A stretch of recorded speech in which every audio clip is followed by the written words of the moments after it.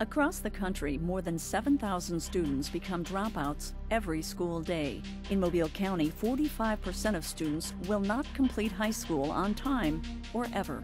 And it's not just an inner city problem, it's a countywide one as well.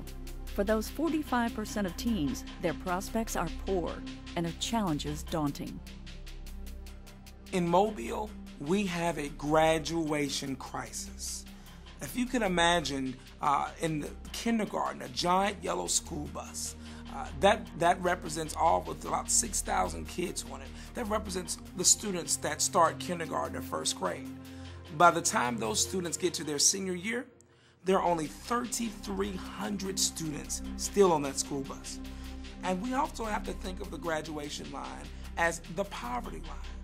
Uh, 19,400 is the average income for a family uh, of that's the head of household as a dropout. The poverty line is $21,000. If these high school dropouts are fortunate enough to find a job, they will earn an estimated $12,258 less per year than those who graduated on time. It's easy to see what dropping out of high school is costing our teens. But does our community see what it's costing us? Because think about all the things that are connected to everything below that the below that graduation line, below poverty line, uh, a greater, uh, lower life expectancy, a greater chance of incarceration, a greater chance of babies having babies through generational poverty. Despite current gaps in Mobile's employment, National rankings continue to foresee a bright outlook for our area over the next few years, projecting job growth of 2.7% through 2013. However, it is also forecast that 85% of the jobs in 2020 will require advanced training or a two or four year degree. We've had a lot of blessings in our area recently, and with the announcement of TK and Austal, and just recently where Ingalls announced a, a great expansion in in their workforce. So it's absolutely essential that we do all we can in our K through 12 system to provide that workforce for companies that are here now and others that will come to our area. Therefore, it is clear that dropout prevention is not only a moral imperative, it is an economic one. It is not only a school district problem, it is a community problem that requires a response from every citizen, business and industry leaders, community based and faith based organizations, elected officials, educators, and parents. It requires a response from you. The Mobile Area Education Foundation has formed the 80 by 20 Community Initiative, designed to raise our high school graduation rates to 80% by 2020. Our goal is not just to see that our kids complete 12 years of school, but to produce young adults that are college and career ready. Can we do it? By working together, yes, we can.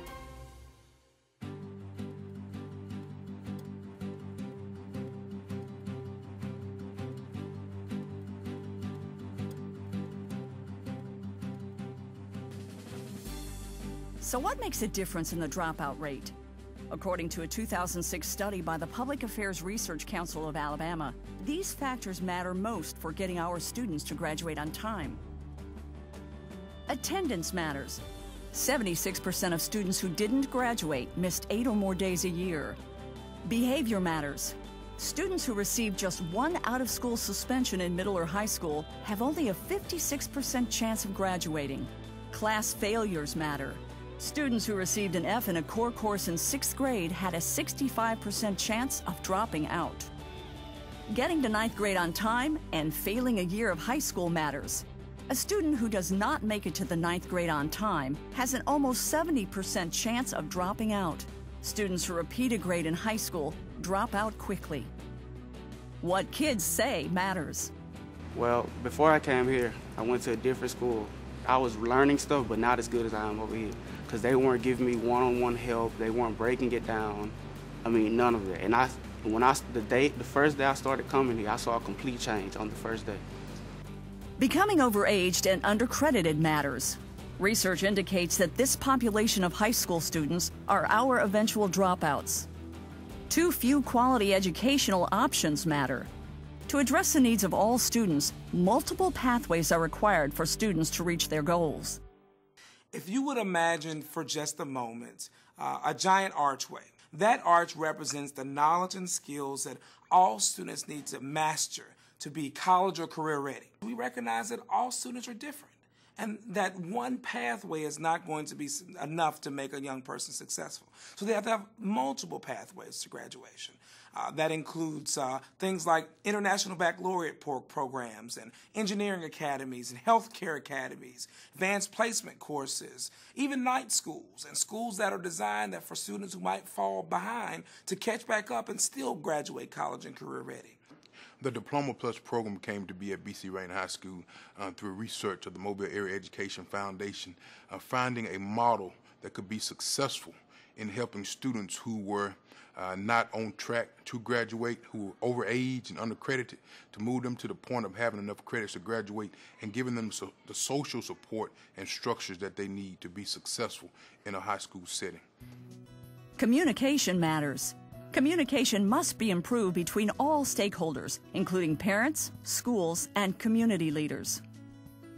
Mobilization matters. Across the nation, communities that have faced the dropout problem successfully have done so by working together.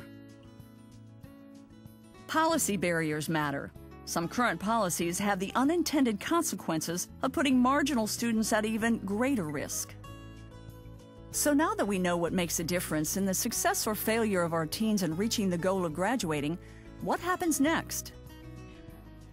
It's going to take a revolution to do this. It's going to take all of us working together, doing things differently than we've ever done them before, making sure that our high schools become not factories of, of mass production of students, but that we really look at what individual student needs are and make sure that we are delivering on a promise to each one of our children that that their success matters to us.